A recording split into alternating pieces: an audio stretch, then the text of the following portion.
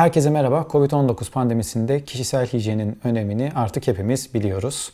Elimizi, gözümüzü, yüzümüzü temiz tutmamız gerektiğini ve dışarı çıktığımızda maske ve eldivenle kendimizi korumamız gerektiğini ezberledik. Peki dışarıdan eve döndüğümüzde maske ve eldiveni çıkardıktan sonra ellerimizi yıkadık. Ee, ağız hijyenimiz için ekstra yapmamız gereken bir şeyler var mı? Yoksa normal gündelik e, diş fırçalama rutinimiz yeterli midir? Konuyla ilgili bilgi almak için Diş Hekimliği Fakültesi Dekan Yardımcımız, Endodonti Anabilim Dalı Doktor Öğretim Üyemiz Caner Yeğen'i dinliyoruz şimdi. Öncelikle herkese merhaba.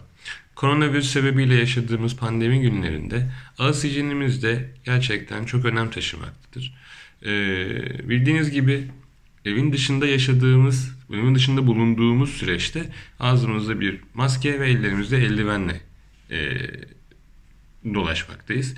Ee, bunun sebebi de evet dışarıda herhangi bir bulaş olmaması için ellerimizi ve yüzümüzü korumak. Aynı zamanda istemsiz şekilde elimizi ağzımıza ve burnumuza götürmeye çalıştığımızda en azından araya da bir bariyer olmasını sağlamak. Fakat eve döndüğümüz zaman e, bunlardan hemen e, bunları hemen çöpe atmamız gerekiyor ve sonrasında da ağzımızı, burnumuzu ve yüzümüzü çok iyi bir şekilde yıkamamız gerekiyor ki herhangi bir şeye maruz kaldıysak bile bunu hemen bertaraf etmemiz gerekiyor. Bunlara ek olarak da Dişlerimizde fırçalamak burada çok önemli.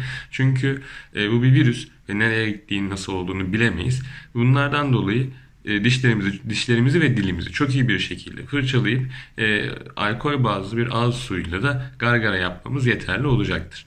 Bunların haricinde günlük fırçalama sayımızda herhangi bir değişime gitmemize gerek yok. Yani sabah ve akşam düzenli olarak fırçalamamız yeterli. Fakat bu noktada e, fırçamızın kuru olmasına özen göstermeliyiz. Eğer sabahtan akşama fırçamız kurumuyorsa gerekirse günde sabah ve akşam olmak üzere iki ayrı fırçada kullanımına gidebiliriz. Bunların haricinde evde birden fazla kişi yaşıyorsa e, diş macununu kullandıktan sonra dış kısmını çok iyi bir şekilde sabunlu suyla yıkayabiliriz veya herkesin kendine ait bir diş macunu olursa bu çok daha iyi bir şekilde e, olacaktır. Çünkü kişiler arasında da başka bir kişinin temas ettiği şeye sizin de temas etmemeniz gerektiği için bu şekilde de bir ayrışıma gidebilirsiniz. Bunların haricinde e, pandemi zamanlarında sürekli evde olduğumuz için bunun bizlerde de herkeste bir psikolojik baskısı da oluyor.